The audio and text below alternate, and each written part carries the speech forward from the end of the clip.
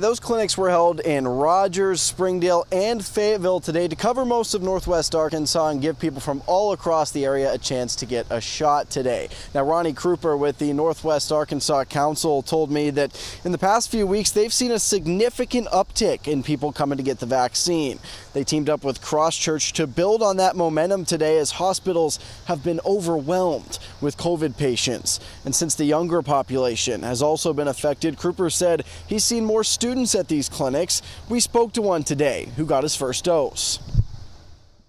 I got the, the COVID vaccine because I just felt like it was time to stop thinking about myself and start thinking about others.